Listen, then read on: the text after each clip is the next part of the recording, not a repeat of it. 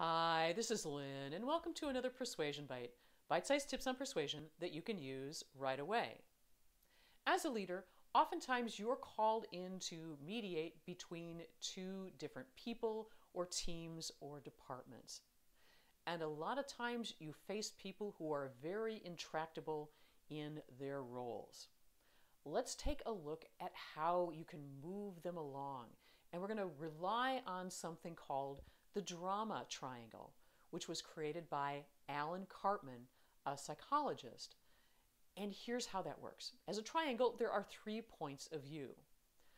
And if we could summarize each of them, it would be victim, I am blameless, persecutor, I am right, and rescuer, I am good. What usually happens is that the person who feels victimized is the person who starts the triangle, who believes that something beyond her control has happened. And because it's beyond her control and it's being done to her by somebody else, she has no recourse but to complain.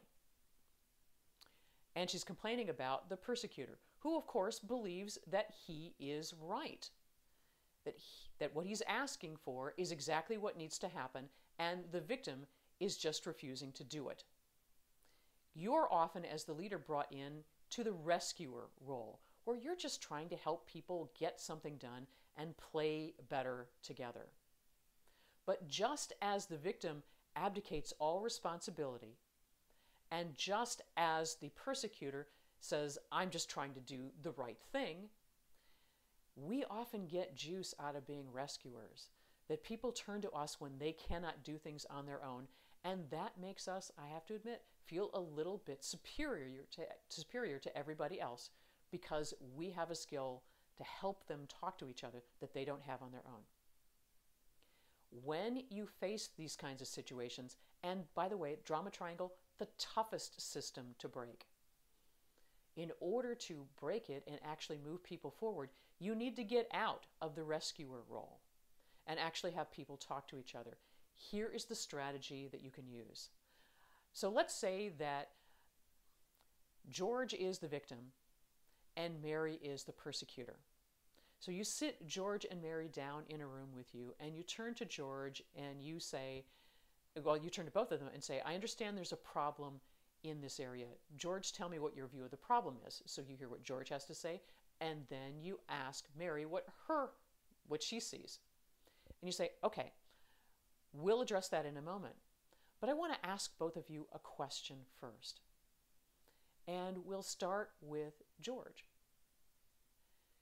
If you were to put yourself in Mary's position, what do you think Mary would say is most frustrating about working with you. So now George projects himself into Mary's situation. Well, she would say this and she would say that and she would be unhappy about these things. And then you say, okay, so now George, what do you think that would make Mary want to do?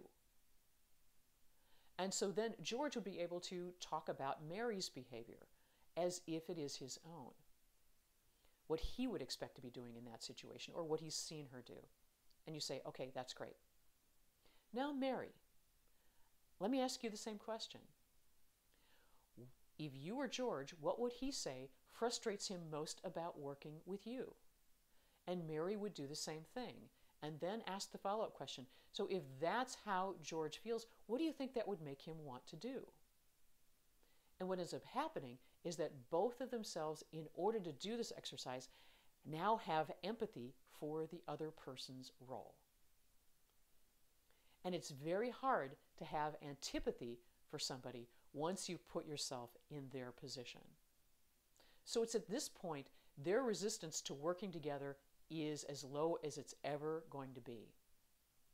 And you can talk a little bit about now that we know these things and now we understand the behavior, Let's talk a little bit about the situation and how we can work together to figure out this situation, what we need to do next here. And then let's schedule a time after this is over to talk about how we can improve things on an ongoing basis because the two of you have great ideas and you're both very skilled in your areas, and I know that you can work this stuff out. So, what you've done here as a rescuer, instead of taking sides, which is, of course, what both of them want you to do, and to be on their side, you've shown that you are impartial. And you've had them have empathy for each other, which means that they're going to stop the sniping and arguing that you've seen because they put each other in the other person's position.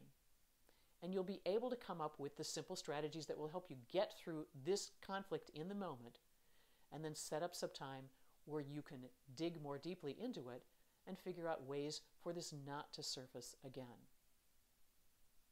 And when you do this, when you stop rescuing and enable people to have empathy for each other and to work things out, you become the most persuasive person in the room. Thanks for watching.